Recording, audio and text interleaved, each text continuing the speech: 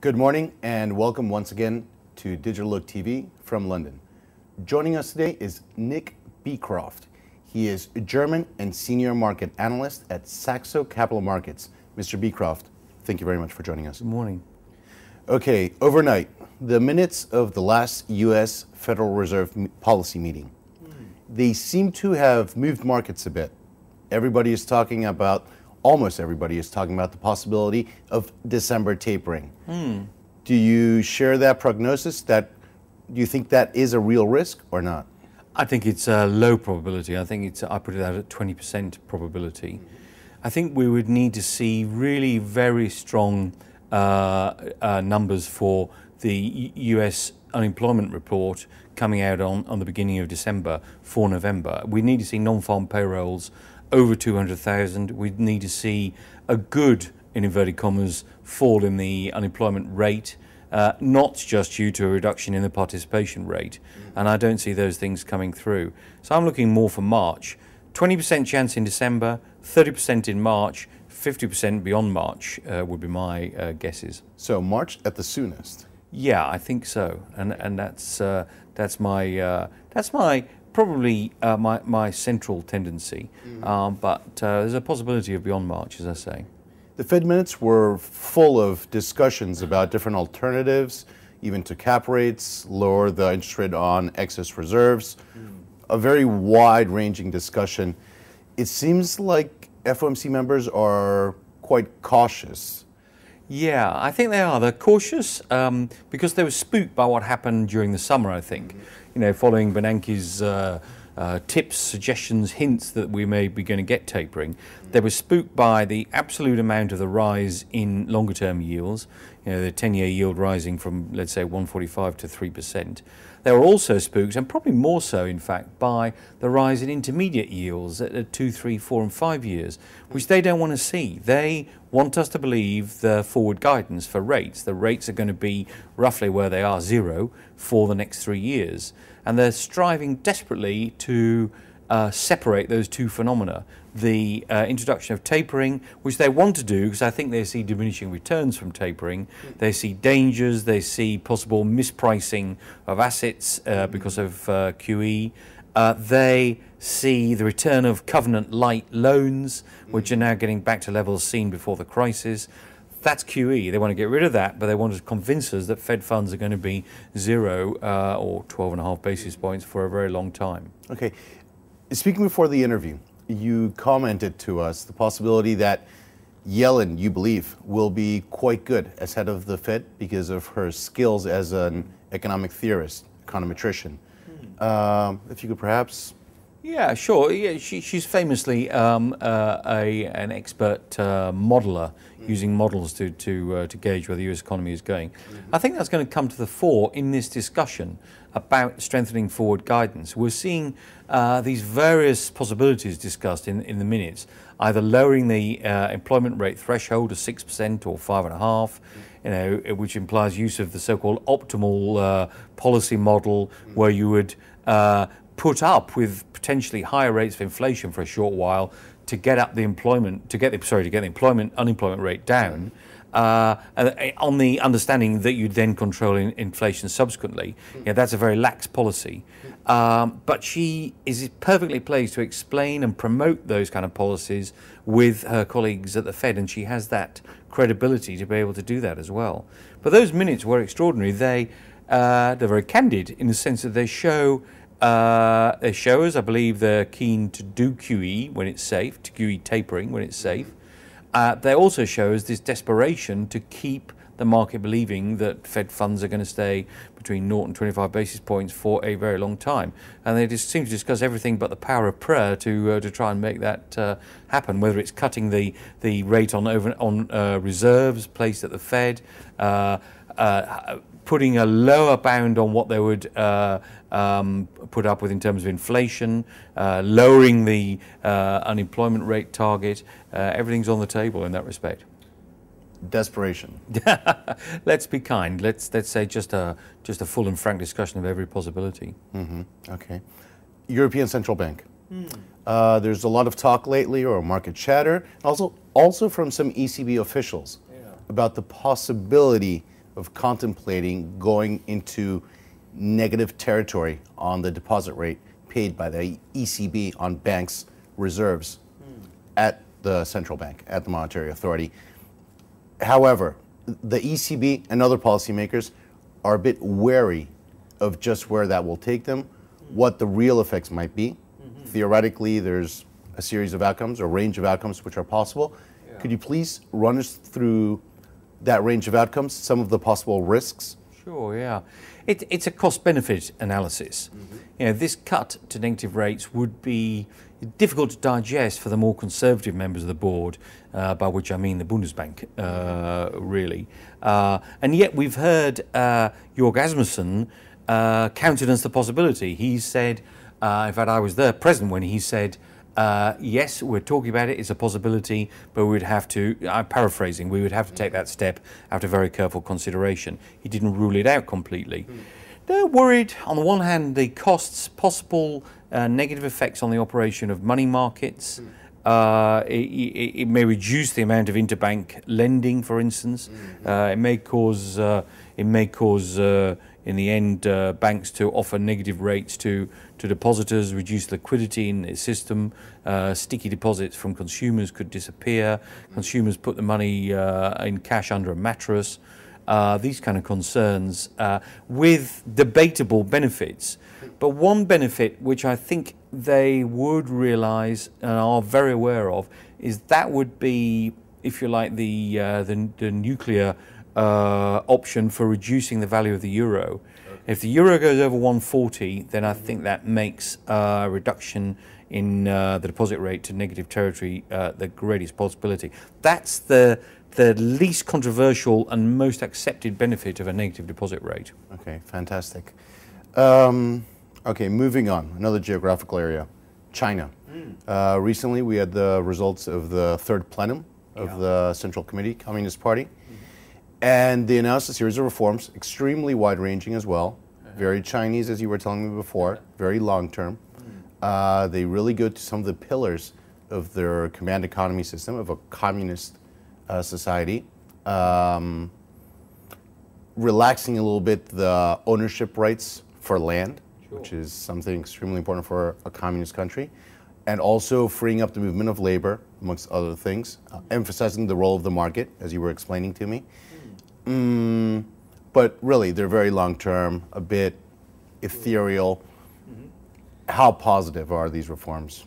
Pretty positive, and, and, and, just a progression from what we've seen over the last 20, 30 years. Mm-hmm. Very Chinese, very measured, uh, significant, you know, managing that country of 1.3 billion people, uh, you, you, by definition, is, a lot of inertia, uh, and it's it, and and always managing this transition from a purely rural economy to a partly urbanized economy is uh, is the challenge that the the leadership faces.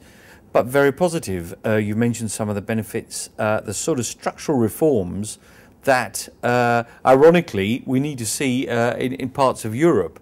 Uh, uh, maybe not the exact same reforms because we've had a number of those, obviously for, for tens of, or if not decades, uh, sorry, decades or centuries in Europe. But it's interesting the comparison between how a command economy can bring in those long-term structural report reforms, whereas some of the uh, democracies, let's say Spain and Italy, are finding it difficult to introduce structural reforms that the ECB and the uh, and the, uh, if you like, the governing powers in the EU would like to see.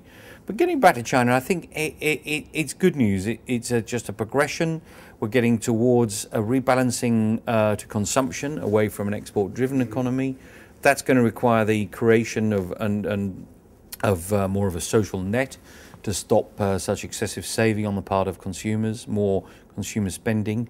But it'll gradually uh, take place, and these are very positive uh, steps in that direction. Okay, from the long term to the short term. Hmm what are the risks that we might see uh, more a more quicker than expected and more protracted than expected slowing in Chinese economic activity in 2014? Um, 2014, uh, I, would say it's perfectly possible that we see sub 7%, you know, something in the 6 to 7% range. And the leadership understands that. They're trying very slowly uh, to get us used to the fact that 10% growth is a a thing of the past, and and the reason it's a thing of the past is that was export driven. And they've embraced this move to a more uh, consumptive society, and that, that's all part of this, the, the, the same thing. You can't have one without the other. So six or you know mid sixes next year wouldn't surprise me at all. But I don't think that's a crisis, and we have to get used to the fact that the ten percent per annum is, is history. Uh, uh, if we want the uh, the benefits, which it would bring the globe to see this move to more consumption in China, you know, uh, less uh, less imbalance in, in trade in that sense, then uh, we have to see the downside, accept the downside of, of slightly lower growth.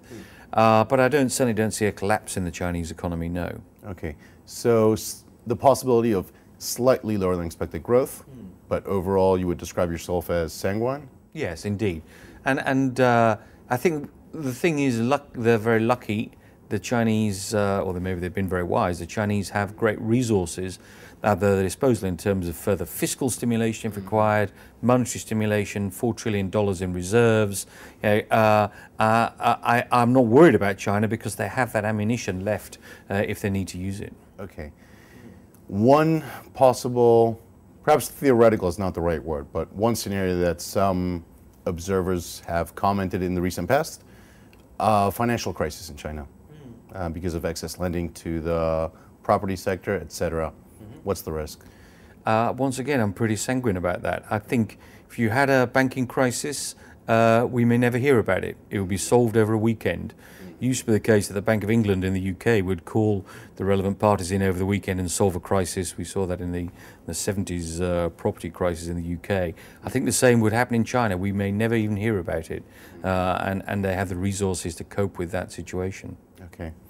Closer to home, United Kingdom. Um, it seems that the Bank of England, or the, rather, the markets have accepted the Bank of England's perhaps modifications, tweaking of their forecasts. However, you have cable. Um, if we have some currency pairs such as dollar yen possibly breaking out of the recent ranges, euro dollar might not do quite what the ECB wants of it. Um, what can we expect for cable? How might that affect the Monetary Policy Committee and its um, reaction function? Well, I, I think uh, cable uh, is set pretty fair in the near term, by which I mean the first quarter of next year. Um, I think the strength of the US, uh, the UK economy can, if anything, surprise to the upside, um, and, and certainly relative to the US economy in the first quarter of next year, which I think is going to look pretty anemic, say one and a half percent annual growth, annualized growth. Uh, so the UK could stand out in that sense, and you see, could see cable rise over 165 towards 170. You know, you know what? I don't think the Bank of England will be too concerned about that. Um, know, they uh, they're, they're trying to convince us that rates will stay lower for longer here. Uh, on the one hand, but on the other hand, they will see. I think there will- be dangers of overheating in various parts of the UK economy, uh, and, and some uh, mild tightening uh, due to a rise in sterling won't be entirely unwelcome. And I think they're miles away from any further easing decision. You know, Not more- entirely more unwelcome, the tightening. Pardon? Yeah, yeah. I mean, it's covert in the sense of it, it wouldn't be an embarrassing, uh, you know, rise in rates, which they were promising us, you know, three months ago wasn't going to happen for uh, until 2016. Uh, uh, but i we're seeing such uh, such positive uh, development in UK numbers, then then they may not be wholly unconcerned by a by a rise in sterling. So. Uh, I think cable uh, is looking pretty good over the next quarter. Okay, very interesting. Japan, short term.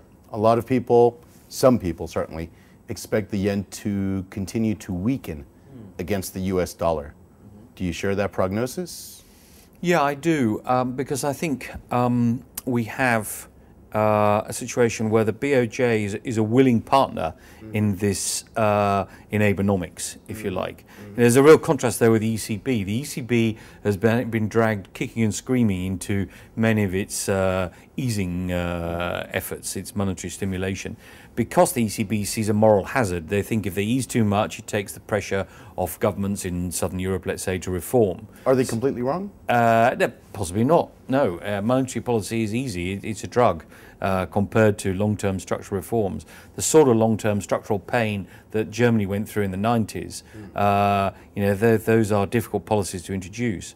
Uh, I think in Japan you have a different dynamic. You have the BOJ, new leadership, very much part of Abenomics, the three arrows. Uh, they're one of the arrows. They will support that, and I don't think they'll demand. Uh, you know, a quid pro quo from Abe in terms of long-term reforms before they introduce more easing. Mm-hmm. You know, they realised finally, uh, you may say, all the authorities in Japan have got the message that they have to do something radical to fight this uh, horrible deflation, uh, and, and, everyone does have the message now. And, and I'm not going to predict uh, Japanese debt crisis. Um, it, uh, uh, it, has been a long-term, long time coming, mm. and there are uh, many uh, many stories of people predicting that uh, too early. But surely, in the next three to five years, at the most, mm-hmm. Japan is going to face a crisis due to its enormous debt burden, even net debt burden, uh, taking into account private savings. And the way out of that is going to be uh, inflation and debasement of the currency. Mm. So uh, I, both short, medium, and long term, uh, I would be a dollar bull against the yen, certainly. Okay.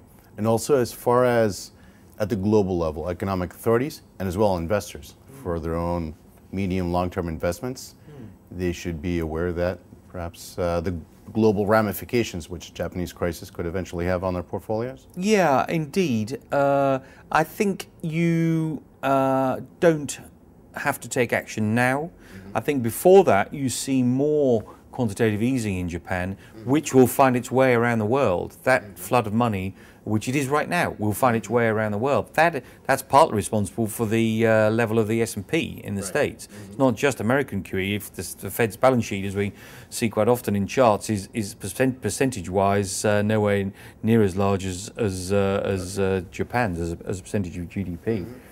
Uh, that money finds its way against the world, so don't fight that. Yeah, maybe, uh, and that um, in the Japanese sense, I think goes on for years, mm. two, three years, let's mm-hmm. say. So that's way down the road, and you'd miss out. Um, you know, the, in the US, uh, you know, US, uh, the the, the pro prognosis though for the S and P, let's say, mm. is much more sanguine. Uh, uh, sorry, much much more fearful. Correct myself. Okay. I think there's every chance uh, that we it's flying on fumes. It has been flying on on uh, on these fumes from around the world. Mm. So we could see we could see pullbacks or just a at the very least just a steady year in the S and P next year. Okay. Um, so because uh, at some stage you get this uh, crossover when the in the second half of next year, I can see the U.S. economy starting to look very good and to mm. outperform, mm-hmm. and bond yields rising uh, really quite rapidly in the U.S. Mm-hmm. Uh, and and that puts pressure on on the equity market. And and by then,